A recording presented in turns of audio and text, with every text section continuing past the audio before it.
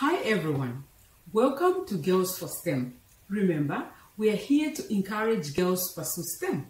We are here to acknowledge other scientists who have navigated this sector.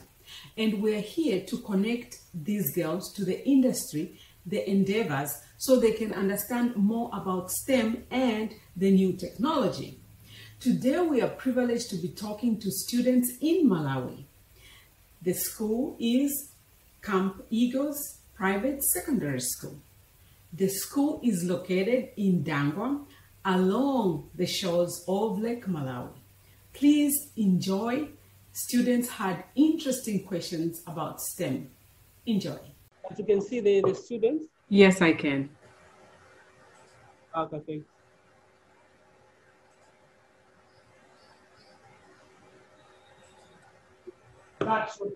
That's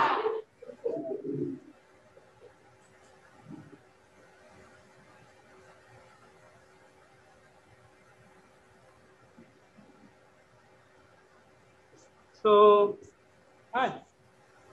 Hi. Ah, one second. I just wanna, I was just testing something. Okay. Okay. Hi, everyone. Good afternoon. I'm so excited to be here. Thank you so much for inviting me. I'm just so privileged to be talking to you guys.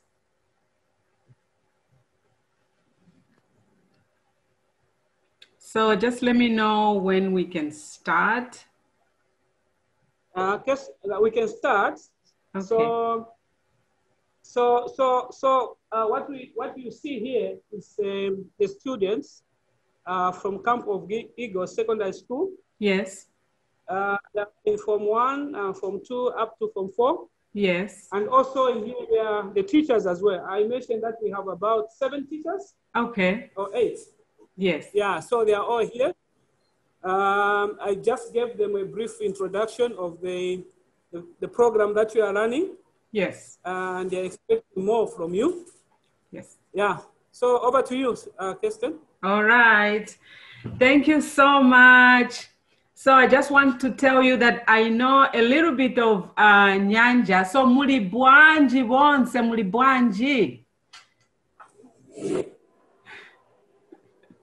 nakondwera maningi kuti nikambe um, i know a little bit of um, nyanja because i grew up in zambia that's where i grew up and then i went to united states so um, i remember very well uh, my parents came to malawi they came to malawi uh, when i was about 10 years old and they bought some very cool shoes and i still remember that and I have not forgotten.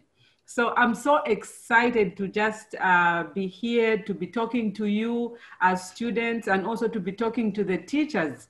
Uh, thank you so much, Alfio, for having me. So I am going to start. So what I'm going to do is I will, I have a presentation that I'm going to make, and then afterwards uh, we are going to watch uh, a STEM video. So let me just go through the program, what we're going to do. And then at the end, feel free, you know, to have any questions that you want to ask. So we are here uh, so we can discuss, okay? So let me just uh, present, okay. So my name is Kirsten Chitundu Malama. I was born actually in Zambia. I was born and raised in Zambia and that's where I grew up. I went to school there. And it's very interesting, as I was telling you, my parents actually visited Malawi. So I've never forgotten because when they visited Malawi, they bought us, me and my sister, very cool shoes, as I mentioned, and uh, a dress. And we, we, we were very, you know, we were very excited. And that has never for, i've never forgotten because those shoes stayed for a long time with us and i've never forgotten that. So i was very excited to see that i'll be talking to you guys. So um, let me talk about how my passion uh, started about engineering. So when i was 10 years old um, me and my brother used to love making uh, toy gadgets. You know, when you make toy gadgets, you go get them from the hill. You know, you get clay, soft clay from the hill, especially when the rain falls. So we would go get some clay and would make a lot of gadgets, toys, uh, cars. And I remember making the car chassis. You know, the we used to call it mudguard. It's a you know the base of the car. So I remember making that with my brother and we made a lot of toys but i didn't know that i was being wired to uh, maybe that i might do engineering. But i was very excited in you know solving problems things like that. So it's very interesting but so i went to school and uh, i went to Evelyn Hone. I did production management and that's where i met uh, alfeo. And uh, after that i went to united states so when I went to United States, I went and did manufacturing systems engineering. Um, so it was a continuation from uh, Zambia when I did production management. And when I came to United States, I had the privilege to actually do manufacturing systems engineering. And at the moment, I'm working as a quality systems engineer. I'm working as a quality systems engineer for Northrop Grumman. So I'm sure most of you have been exposed to what is STEM students, but I will go through a little bit. So STEM simply means science, technology, engineering, and mathematics. And STEM actually births innovation. It births innovation in meaning it's the one that also ensures that there is um, inventions of different types of, uh, you know, things. Uh, so the main thing I want to say is it drives the economy. It's the one that makes the economy start, uh, you know, developing, and it also makes our lives better. So the other thing is invention and technology has evolved in the past two decades tremendously. So that means the world including United States and Africa, Brazil, everywhere. We are going to need a lot of scientists and we'll need a lot of engineers. So that being said, I would like to encourage you that in the next uh, future, there will be a lot of jobs that will require engineers and scientists. So how do you participate in that? So I would like to encourage you and say, we have to work so hard and be, be encouraged that we will definitely have jobs as students in the next future because there will be a lot of technology and um, a lot of uh, positions for, for jobs. So, and I just want to encourage you that you need to push beyond, uh, you know, uh, beyond your limit and be encouraged. And these are cool things. They are very fun things that are going to be, you know, happening. So we will see a video and then you, I'll show you, you know, some of the cool things that you can participate if you pursue in uh, math and science, you know, that would be very interesting. And I also wanted to tell you that I know most of most people are so afraid of science and math. Um, I just want to tell you, especially about math, that there is nothing else we want to do about math. We just want to see how x is varying. So we always just solving for x. So if you see in your math, we, you're always trying to solve for x. And then later in the stages, when you start going to uh, the university, X just starts changing and they call that derivatives, differentiation. So it's not that hard. I just want to tell you that even for myself, all I had is determination. That's all you need. You fail, you get up. You fail, you get up. You, you don't do the problem well, you ask. You keep asking, keep fighting. That's all it is because it's a practice. So I just wanted to mention that a little bit. So before we go uh, into much details, I just want to talk about Girls for STEM USA. So Girls for STEM USA is a, um, a nonprofit organization uh, that we that uh, that inspires girls to pursue STEM, and also to encourage them to um, take math and science classes, because a lot of people think you know it's, it's it's very scary to take these classes. I just want to make sure that everybody understands it's fun actually. We just have to change the way we think about it, and it's very fun. So what does Girls for STEM do?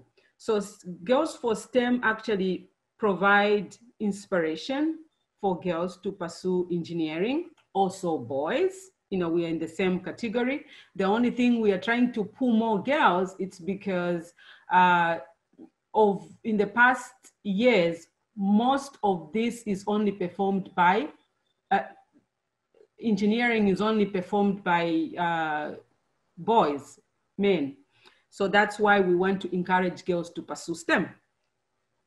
So the other thing that uh, Girls, for, girls for STEM does is it provides mentorship to encourage these girls to pursue engineering and also to show that there are models like me who have uh, pursued engineering. So that's why I would like to be as a model to the girls that there is nothing you cannot do. You are just like anyone else and you can do it because I did it. The other thing is we offer programs. These programs encourage the girls to be able to think scientifically, to be able to do projects that are fun and also present them. We also provide shared resources because uh, most of the time students, teachers, and mothers, they don't know how to access this resource. And we live in a place where there are there is internet, remember? So we have access to a lot of resources that we might not know. So as Girls for STEM, we would like to provide these shared resources to teachers, students, and also mothers so that they can have the opportunity to access this information and also be able to be encouraged to pursue engineering. And that's what Girls for STEM does. The other thing is would like to provide scholarships so that these girls can continue in the STEM and also expose the students to endeavors. As I mentioned earlier, you know, the resources and the technology and things that are happening most of the time, you know, it's very difficult for students, teachers, and mothers to know exactly where this information is. So we harness this information so we can provide it to, to you guys. So that's what Girls for STEM is. So now we, so here's a good question. What do you want to be when you grow up? you can think about that. So the best thing you can do is think of what you want to become. You can write it down wherever you want to write it down. Find out what it takes to accomplish it. Start working on it daily, every single day. So questions to you all.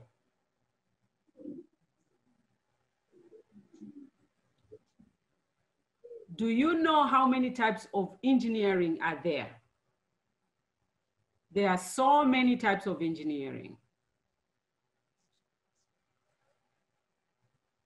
So these are the types of engineering that are there. There's mechanical engineers, aviation engineers, robotics specialists, actual scientists, renewable energy engineers, aviation engineers, quality engineers, that's me, electrical engineers, software engineers, computer science engineers, civil engineers. The list goes on and on. It's a very long list. So what do you want to become?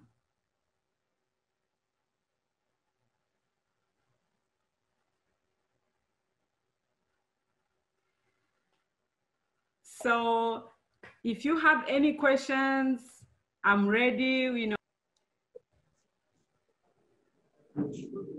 Hi, Hi, how are you? What's your name? my name is Jisomo What's your name again? Onkom. Okay, nice to meet you. I want to know more about civil engineering. Oh, okay. Uh, speak louder so I can hear you. I want to know more about civil engineering. Which one? Civil engineering. Civil. Oh, civil engineer. Yes, yes, yes, yes. Okay. Yes. So civil engineers, they are the ones that makes our lives better. I like starting by that. How? They are the ones who build bridges, houses. They're the ones who built actually the school that you are in. They design them. They they make sure will this house uh, stand for how many years? You know, so they are the ones that makes structure. Uh, they are involved in creating any structure things that can stand for a long time. You know, for example, how much weight can stand on um, certain structures. So those are civil engineers. What they pay attention to, they pay attention to building bridges, building houses, building tall buildings. Those are the ones, those are civil engineers. It's very interesting career as well. Okay, fine. Thanks. You're welcome.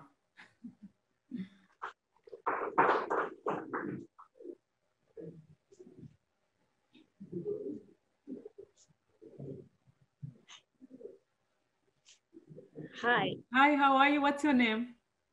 Priska. Nice to meet you, Priska. My question is, how can I ma- manage to be an engineer, Yes. woman, you, to have the confidence in yourself? Yes, I'll tell you something. It's that's a very good uh, question, and I like it because um, when you become an engineer, guess one thing that makes you very confident. Number one, I always say this: it's a high-paying job. You can imagine, you know, when you are you are good, you are getting good, you know, payment. You feel good, right? So it's a very high paying job, number one. Number two, the product that uh, the world is making needs a female touch. If imagine products just being made by men, how can I how can they understand some of the things that we women feel or what we want? So being a female engineer will empower you to understand that you are also sitting on the table where they are making decisions about products that they are making and that you are part of that. And also you are making those products for uh, on behalf of all the women out there. So that should give you also confidence. And the other thing i'll tell you there are very few women in engineering. For example where i work i'm the only one. The rest are men. But that doesn't stop me. You know i want to show to people like you students that you can also be engineers so we need more female to come to engineering. So i just want to tell you that you may face um, uh, challenges as you pursue this career but it's worth pursuing. And you will look back and say wow i did it. And let me also get a hand of another female to encourage them to do engineering. So I just want to tell you that yes, you will have confidence. And I want you to show that when you're in math class, it's not only for the boys, math is for the girls as well. And don't be intimidated how they will say or they will, whatever they react. You have to trust yourself. I like this subject. I want to know more about it. That's all matters. I hope I answered your question. You're welcome.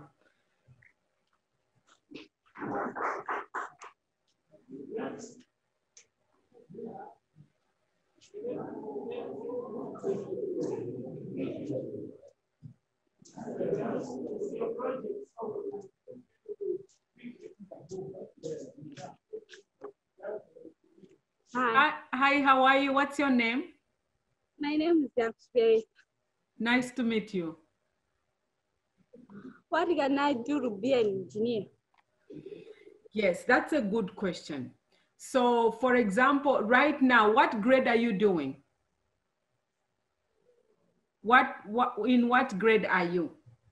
In Form one. Form one. Oh my God, that's really good. So, what you can do to be an engineer, you just have to pay attention to school, push through math and science. Those are the two key areas that you want to be uh, to become an engineer. And I want to encourage you that there is nothing difficult about math. Remember what I said earlier on? All we do is what happened to X. That's all I, I, I tell everybody. That's the only thing math is all about. What happened to X? 2x plus 3x equals, and then later on x will start changing. So just follow that x, what's happening. You'll see, you'll be like, oh, that's it. So I just want to encourage you that uh, do your math. It's going to be hard sometimes, but just because it, it's hard, it doesn't mean you should give up. Can I tell you how many times I failed? I did fail so many times. But guess what kept me going? The determination. When I fail, I want to know why did I fail? How else can I do this? And then I go ask the teachers. And I'm not afraid to ask teachers. All the time I am in their faces. That's what I do. Can you explain this? Can you explain this? How can I do it next time?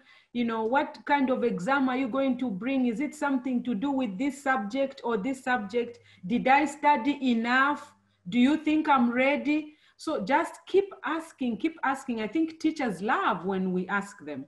So that's what I can say. Okay. hmm Thank you so much.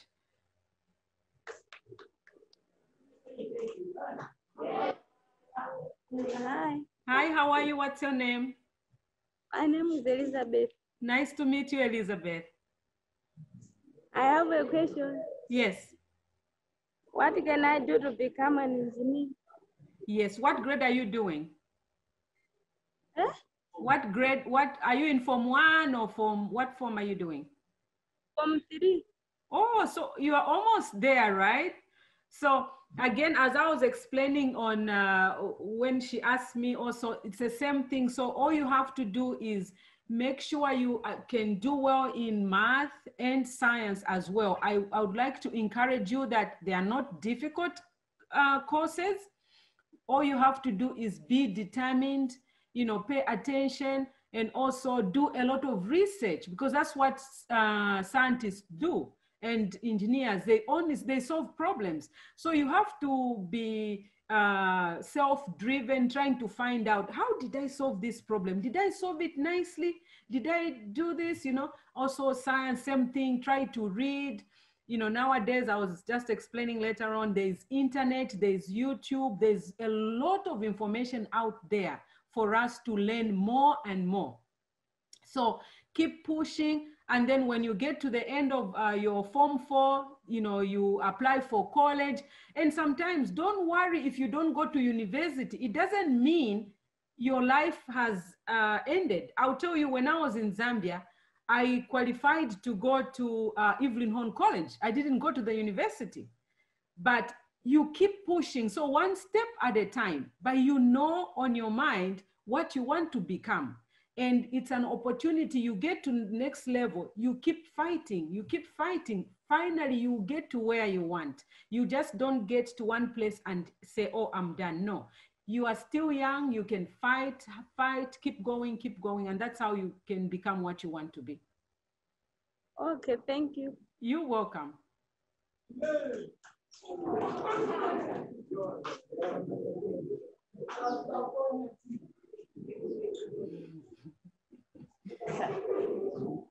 Hi, hi how are you what's your name who are you? I'm Daniel Mouse.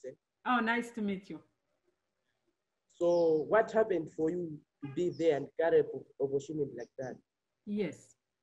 So what happened to me was, um, remember, I was born raised in Zambia, right? Just like you. And then I went to United States. When I went to United States, I there were two choices. I can either just sit and become who I was, or I can utilize the opportunities around me. So you also have opportunities around you. The teacher always talk about, you know, pay attention to school, try to look around, you know, what do you want to do in your life? You know, you can play, have fun, but at the back of your mind, you have to know what you want to become. And it only starts when you are young. And you can, you know, talk to your teachers, your teachers, you know, know more. So they can guide you. Those are your mentors. They can guide you and help you, you know, uh, process things around. So when I went to United States, I decided to uh, pursue manufacturing systems engineer. You know, it was not easy. As I'm telling you, all is needed is determination. Determination, that's all matters. You cannot fail with determination. No matter how many times you may fail or you, no matter how hard it is, you will succeed. So that's all I did for me. I utilized the opportunities that were around me and the determination. Thank you. You're welcome.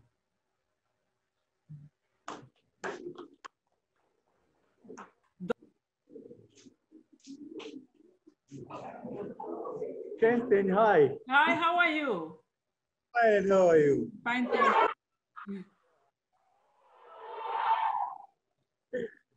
It's a pleasure. You have proved to us that real science is paying, and I have to congratulate Yes.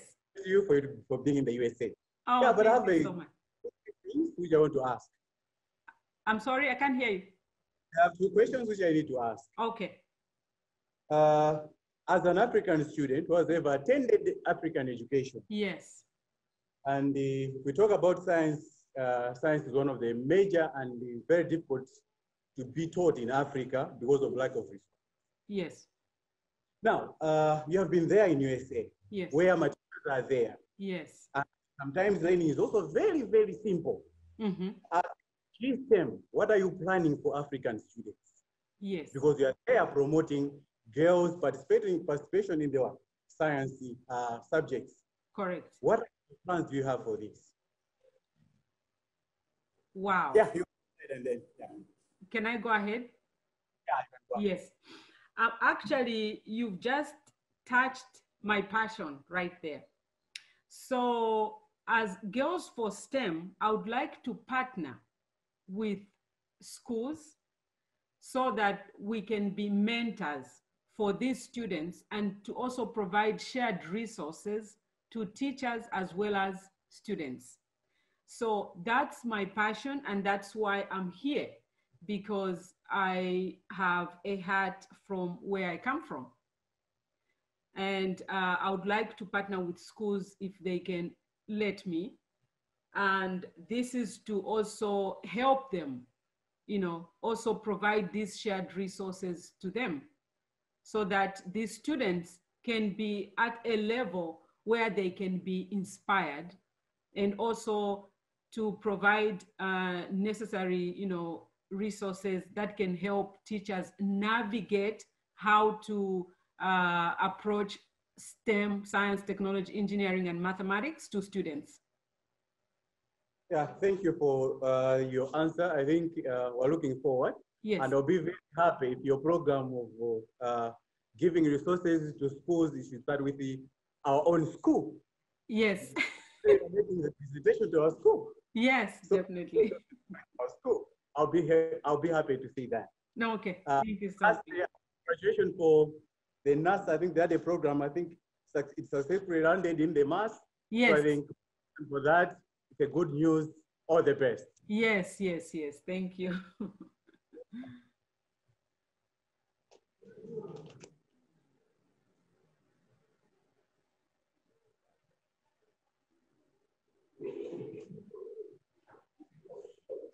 Hi, Hi, good afternoon. What's your name? my name is Desang Homa. I'm sorry? My name is Desang Homa. Okay, yes, nice to meet you. I wanted to ask about the rockets. Yes. How much gallons of fuel does it take for a rocket to come out from Earth to, the spa- to space? Yes, so that depends on the weight. There's a formula. So the formula that scientists use and engineers for the rocket to uh, to actually get up from where it is, it has to exceed uh, the force of gravity.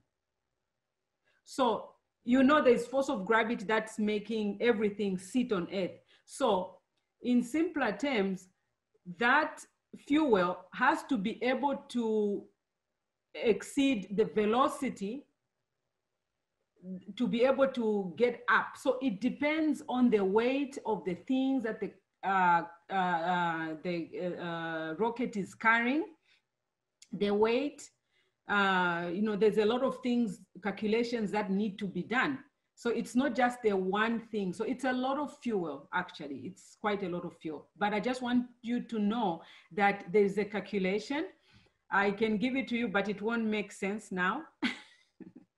but it's a calculation that is done for to be able to lift a certain type of vehicle from the ground. So that also will tell you the amount of fuel needed. Not only that, you also need the fuel if it's gonna come back, right?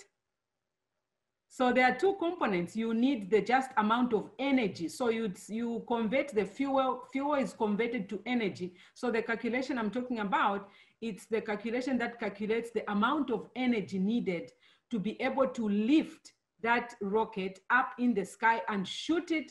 Also the calculation of the distance. How much do you want it to go? You know, for example, the rocket Persevere went to Mars but some rockets just go to space station. So those are two different places, right? So you need different calculations for each time wherever that rocket is going. And I have one more question. Yes. How many G forces does the astronauts get when going from, from coming down from Earth to go to space? How many G forces do they experience? Gravitational force, how much do they experience the astronauts? The okay, so the the first gravitational force is the uh, nine point uh, right? The one that's just the gravitation force, yeah. So the, that's one G. That's one of the uh, G's. But there's also uh, some other G's that they experience, and that has been has has been calculated already. Um, I'm not sure exactly what they are, but yes, that's a very good question. They do experience G forces. Thank you very much. You're welcome.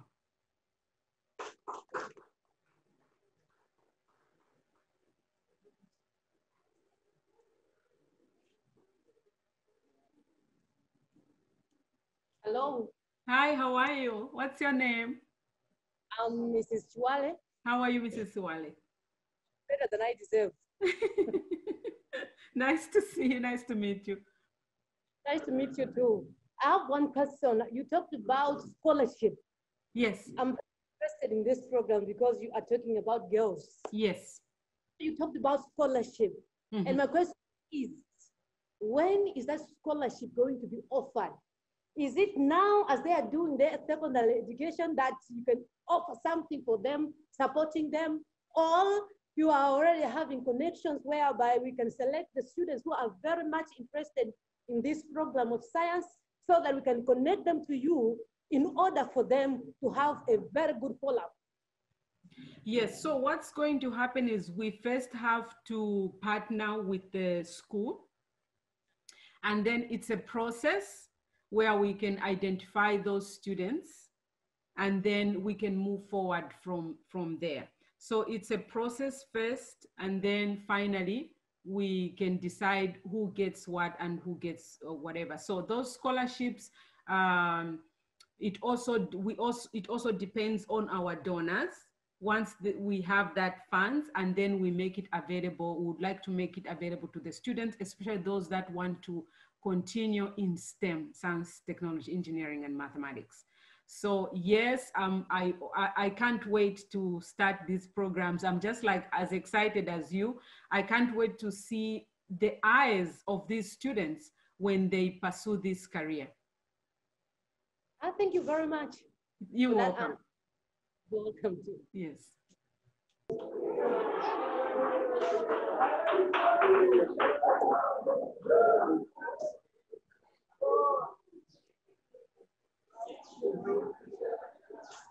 Hi, Hi, how are you? And what's your name?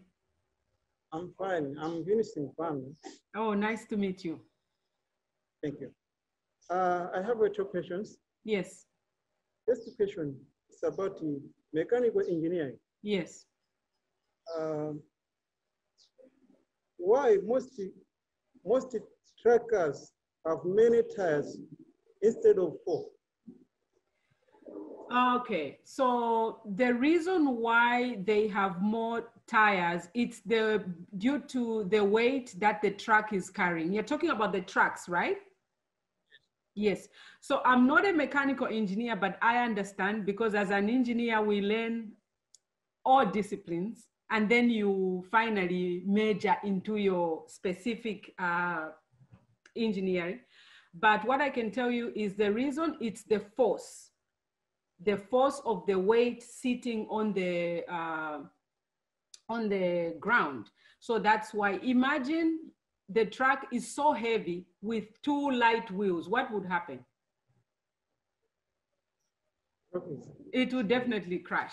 Yeah, so that's just to support the traction on the on the on the ground. Okay. Yeah, Then another question is, yeah. What happens when the sun sun misdirection and hit the moon? What happens if what? Sun Uh-huh. misdir- misdirection and hit the moon. And hit the moon? Yes. That would be a disaster, I think. Uh, okay, thank you very much. You're welcome.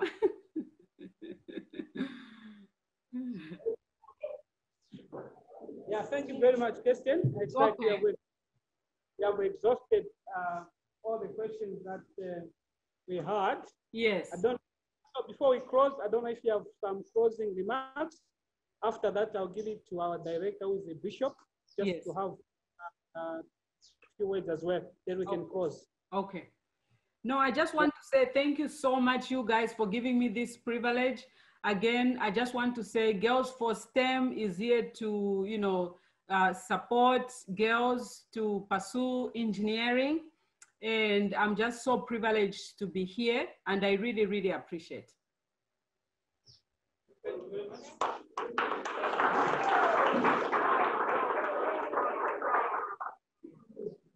Hi, Hi, how are you? great, and how are you? Fine, thank you. How are you? I'm Bishop KPH Ngayaye. Yes. I'm the director of the school. Okay. Yeah, of course, I think I have to apologize. I was very late. Oh no, that's okay. Yeah, but I think in the first actual place, I would like just to thank you yes. uh, for opening this window, uh, especially for our school. Yes. And we are not taking this for granted. Yes. That uh, I think in the whole Malawi, actually, we have been privileged to have this platform. Yes. So um, I would like actually to thank you once again for taking your time Yes.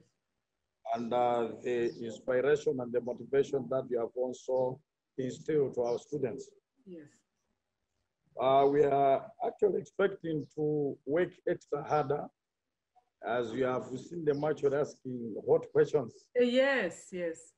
because they are geared, they want to become actually one of the engineers. Yes. Yes. Yeah, but uh, I think finally I would like also just to appreciate because of your uh, your presentations. Yes. Yes, and uh, especially that we are sharing the border, and you strongly believe that actually our problems around this continent are the same. They're the same. Yes, so I think much of your presentation was do, dealing to do with the online uh, internet. So as actually the school that I've just started, Wow. we are, yes, we are still thriving for that. Yes. Yes. yes, I would love them to really flourish and just to see how they are doing in uh, all these sciences. You know, there's so much to do. There's robotics, there's, you know, projects, you know, how they respond presentations. So it could be a very, very good program for them. Uh, finally, once again, thank you. Oh, thank you so much. Thank you for having me. I have watched uh, everything and I was somehow tempted because I'm a pastor. So I was very tempted with, that actual locating. no, that's good. Thank you. no, thank you so much. Okay, uh, Kesken, we have uh, come to the end of the session today. Yes. Uh, if there will be anything in future, we'll try to organize so that we can continue to, to speak to the, to the, to the students on science, technology, and innovation. Sure, no problem. Thank you very much. All right. No, thank you so much, everyone. I really appreciate for having me. Hope to talk to you soon again. And thank you so much and bye.